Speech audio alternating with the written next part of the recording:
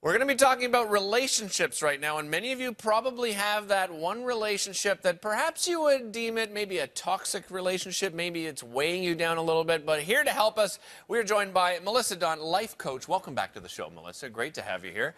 And this is an interesting topic because, you know, I think a lot of us don't even like to admit that we perhaps have a toxic relationship out there that is weighing us down. Do you think most people really do have one in their lives? I think people have a lot more than they realize. Yeah. yes. Well, let's walk through. So you've got you've got some some great things. Before we get started, though, I want to mention you're you're now an author. Your brand new book is called I Attract What I Am. It's available on Amazon.com. So, how does it feel being an author? Congratulations, first of all. Thank you. So, how does it feel being an Thank author you. and seeing your book in print like that?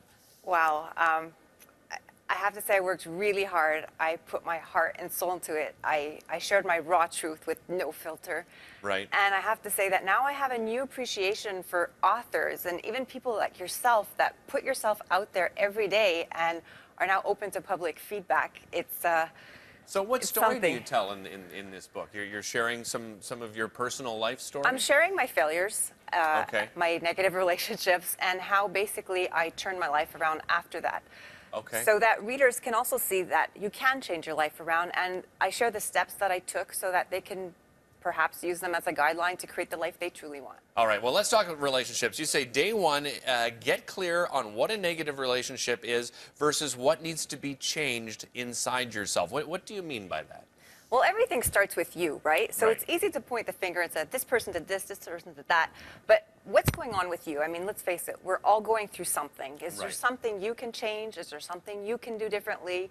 Are you really acting from your best self? So start with the internal analysis. Okay. Maybe there is nothing you can do. Maybe the relationship is negative.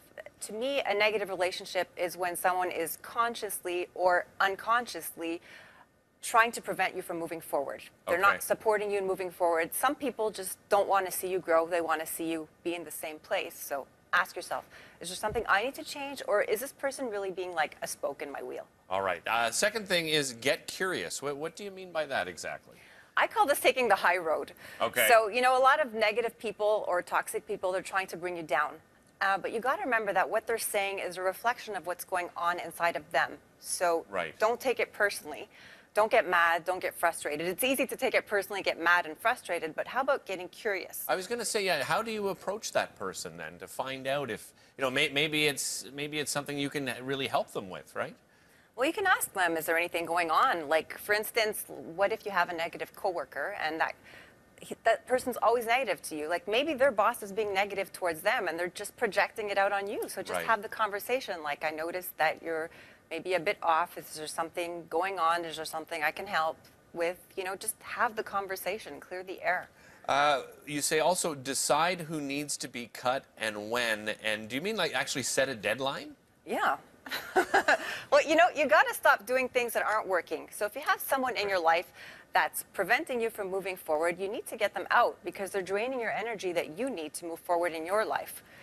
So make a list. It could be one person, could be several people, Yeah. and if you set a deadline, you're more likely to do it sooner than later. And the sooner you do it, the the sooner you can move on towards your goals.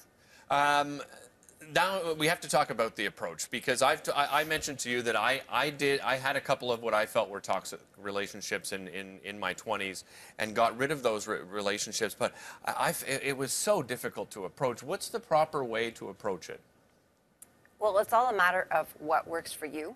right I mean, everybody is different. Um, just remember the saying that uh, criticize a foolish person and they, you know, they won't take it well, and criticize a wise person and they'll appreciate it.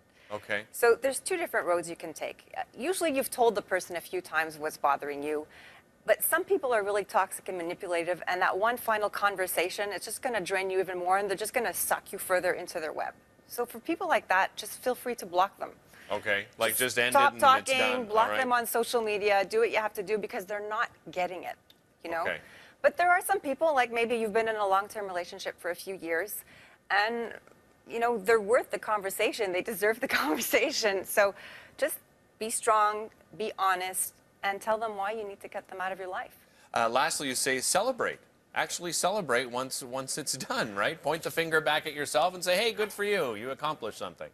Well, it's not easy to do. Let's face Yeah. it. If it was easy to do, we wouldn't be having any wars in this world. Like, so yes, congratulate yourself that you took a step towards moving forward in your own life. I like it. Uh, great, great pieces of advice. Melissa, thanks so much for joining us again. Really appreciate it. Again, uh, her book is called I Attract What I Am, and it's available on Amazon.com. More coming up here on Breakfast Television right after this.